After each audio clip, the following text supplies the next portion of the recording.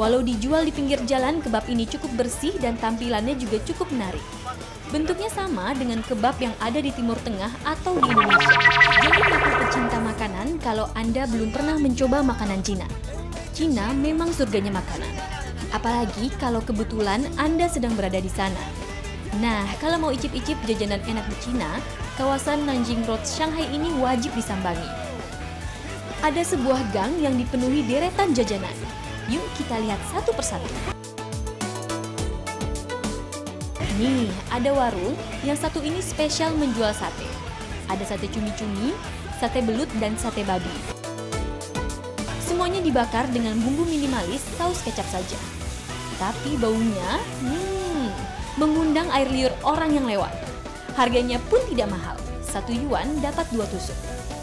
Tapi coba deh perhatikan, sate di Shanghai tidak dibakar di atas arang, melainkan di atas penggorengan yang sudah diolesi minyak.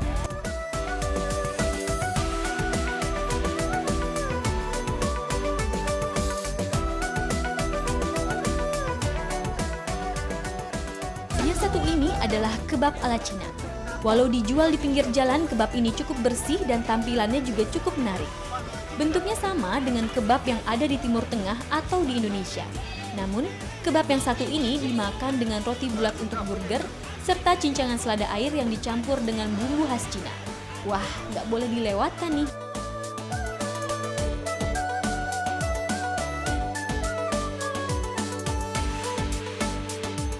Pingin makanan yang lebih berat lagi? Ada kok. Mie dan kue tio goreng pinggir jalan ala si koki yang ramah ini. Gampang kok buatnya. Bawang putih cincang ditumis dengan sejumput daging, kemudian ditambah bumbu kari khas Cina. Kalau bumbu sudah harum, baru deh mie atau kue tio-nya dimasukkan. Tambahkan kecap sedikit, tada! Mie atau kue tio goreng siap dimakan.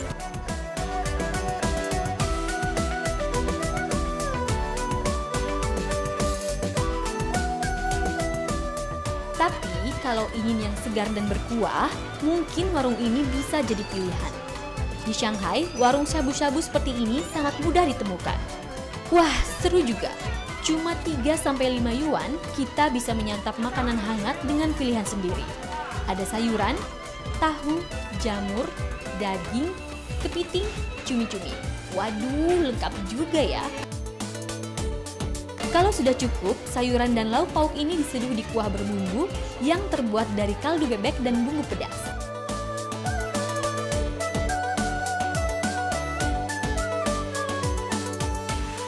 Nah, kalau itu tadi jajanan ala kaki lima. Ada juga loh makanan enak yang tak boleh dilewatkan kalau Anda berkunjung ke Cina, terutama kota Beijing. Peking duck alias bebek Peking panggang.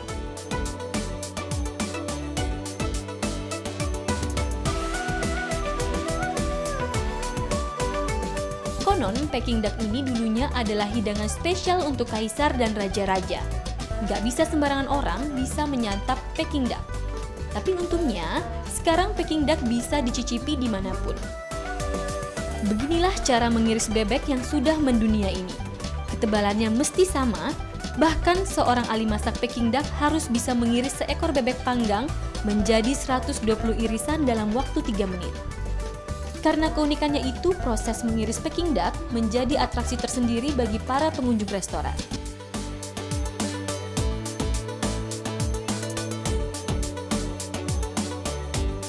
Cara menikmatinya pun tidak biasa. Peking duck ternyata lebih lezat disantap dengan semacam kulit lumpia. Irisan bebek diolesi saus kental khusus untuk Peking duck, lalu diberi daun bawang, dibungkus, lalu nyem nyem nyem nyem nyem nyem. Yang pasti sih, nggak ada ruginya mencicip seiris dua iris bebek panggang ini. Toh Anda sudah jauh-jauh terbang ke Beijing.